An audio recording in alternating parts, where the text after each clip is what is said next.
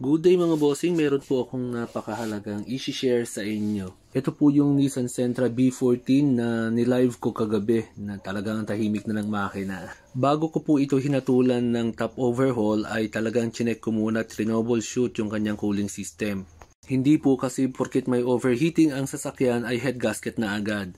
Siyempre, uunahin po natin ang cooling system. And after performing po ng mga test natin, ay saka natin hinusgahan talaga ng top overhaul. Ayos na po itong sasakyan at naiuwi na po ng may-ari. Pero ito po talaga ang isi-share ko sa inyo, yung kanyang tangke, kanyang fuel system.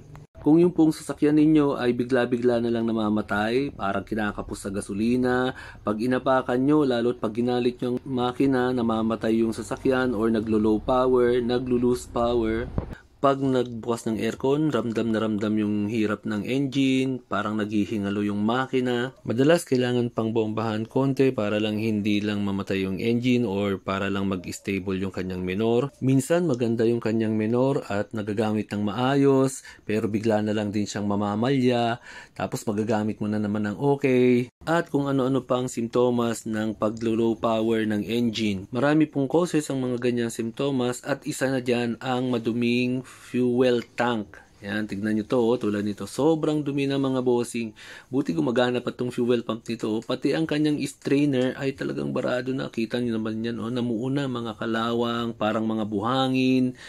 Grabe, di ba? Sobrang dumi. So, i-check nyo po yung fuel filter ninyo kung ayaw nyo munang diretsong i-check yung fuel tank. Check yung mga fuel filter ng mga sasakyan ninyo. Pag madumi na yon, medyo may kalawang na, parang mabuhangin, idiretso nyo na rin po ang pag-check ng mga fuel tank ng mga sasakyan ninyo.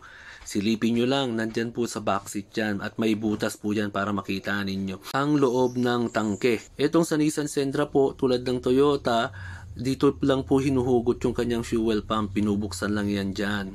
So under seat po yan sa likod. May mga sasakyan po kasi na hindi mo matatanggal yung fuel pump dito.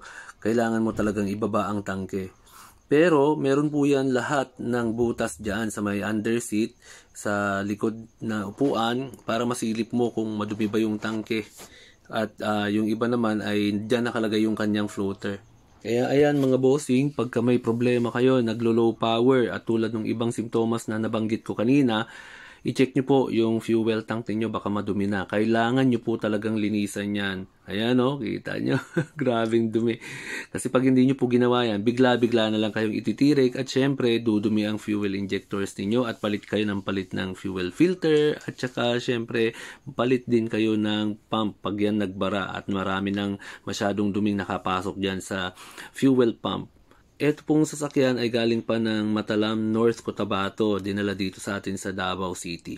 Ang galing no, nakaabot pa rin dito at matagal nang ginagamit ni boss na ganito itong kanyang sasakyan. At ayun na nga, ayon sa kwento niya ay kaya pala daw pag nakapark lang siya, minsan bigla na lang namamatay ang engine. Hindi minsan, madalas. Lalo na pag naka-aircon. And hindi niya po talaga inaapakan ng todo ang silinyador. Kasi pagka binomba niya ng malakas ay namamatay ang engine, naglo-lose power. Tulad ng mga sinabi ko nga kanina nung una. So ayan mga bossing, huwag niyo pong kalimutan i-share yung mga videos natin na alam nyong makakatulong lalo na sa karamihan. At suportahan niyo po ako, mag-comment kayo, mag-react po kayo para naman uh, lalong kumalat yung videos natin. And like and follow my page and subscribe po kayo sa YouTube channel ng Nab Costumes. Maraming salamat po. God bless.